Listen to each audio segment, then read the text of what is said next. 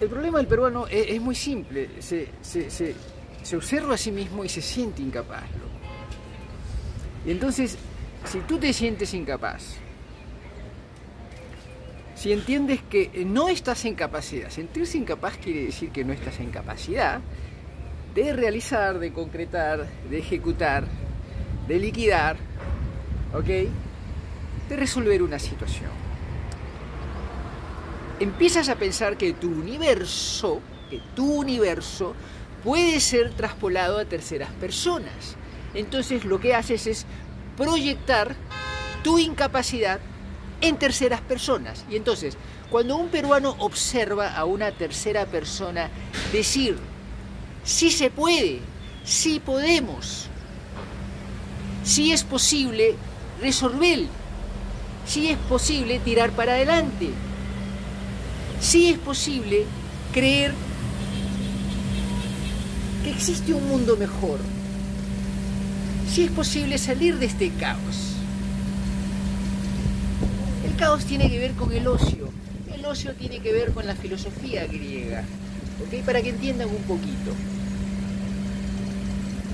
Entonces, ¿qué es lo que sucede con el peruano? Se siente incapaz. Al sentirse incapaz, martiriza a terceros acusándolos de incapaces. Si yo me siento incapaz y además vilipindeo a terceras personas, acusándolos y ultrajándolos de incapaces, finalmente toda nuestra polis termina siendo incapaz. Y entonces no se puede nada, nada se puede resolver. Y entonces aparece el tema de la corrupción. La corrupción es un problema que por supuesto no pasa por la incapacidad. La corrupción pasa por un mal aprendizaje un mal aprendizaje que resuelve de manera inmediata problemas de manera transgresora. Lo voy a volver a repetir.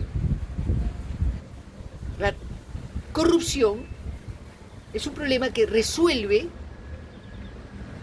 problemas, porque además es un problema, de manera inmediata, pero transgrediendo, transgrediendo las leyes de conducta entre los seres humanos, los acuerdos la constitución, ¿ok? No se necesita tener una constitución nacional para ejercer la ley. Existen constituciones tribales también, ¿ok? Entonces, al traspolar mi incapacidad en terceras personas, entonces no encuentro nada, no encuentro con nada. Entonces le asigno la incapacidad a terceras personas y finalmente cualquier proyecto que tú quieras lanzar hacia adelante se termina interrumpiendo porque los que te siguen, la gente que te escucha, se siente incapaz. Y entonces dice, no, si yo soy incapaz, tú también eres incapaz. No, no es así, loco, no es así. Hay gente que tiene un poquito más de capacidad que otros, ¿ok? Y que puede sacar adelante a esta gente que se siente incapaz. Porque los peruanos no somos incapaces. Somos gente trabajadora, loco. Somos gente hábil. Por ahí no tenemos el talento que pensamos, ¿ok? Es que no lo tenemos, es cierto, no lo tenemos. Pero tenemos otros talentos, loco. Cocinamos muy bien, ¿ok? Somos muy, muy trabajadores además.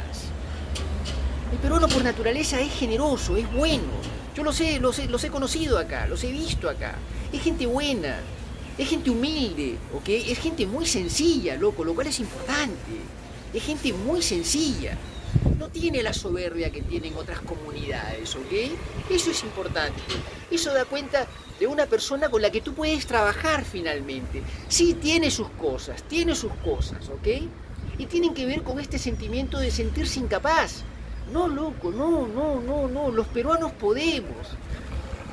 Si nos unimos entre todos, si pensamos que sí se puede, loco, hay dos propuestas que yo les estoy alcanzando a ustedes.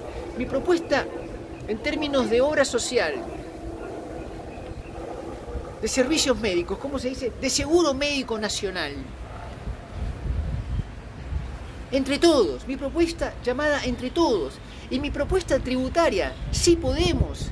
Entonces sí se puede, loco, pero hay que creer, hay que creer que sí se puede, loco, que sí se puede y que no somos incapaces. No se crean esa historia, loco. Que no te devuelva un espejo, loco, esa incapacidad. No es así, no es así. Sí se puede, sí se puede, loco, cambiar una situación. Sí se puede cambiar todo este tema de la corrupción. Pero no con, con leyes leónidas que persiguen meter 25, 30 años a un sujeto en la cárcel. No, no de esa manera. Con el ejemplo, con el ejemplo. El ejemplo viene desde arriba. Es la única forma de cambiar las malas costumbres y hábitos de una nación, en este caso la corrupción, con el ejemplo, el ejemplo, el ejemplo debe venir desde arriba, el ejemplo debe venir desde arriba y así cambia una sociedad. ¿Cuánto toma 15, 20, 25 años?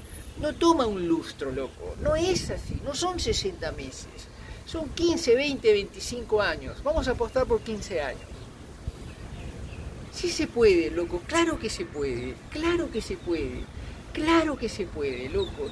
Quítense esa idea sonsa, perturbadora, socavadora, de pensar que no se puede, loco. No, no es así, no es así, no es así.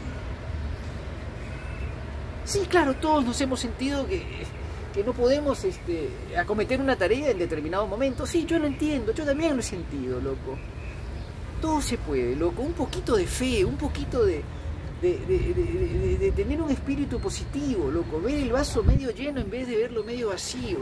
Sí se puede, loco, sí se puede. Hay gente muy mal, hay unos impresentables ahí. Hay que, hay que meterles una patada en el trasero a todos, sacarnos a todos esos hijos de puta, loco. Sacarnos a todos, a todos. Tiene que entrar gente nueva, sangre nueva.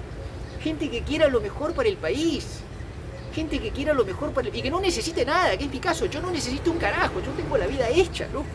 Hecha, hecha, hecha, hecha. Yo no necesito un carajo, loco.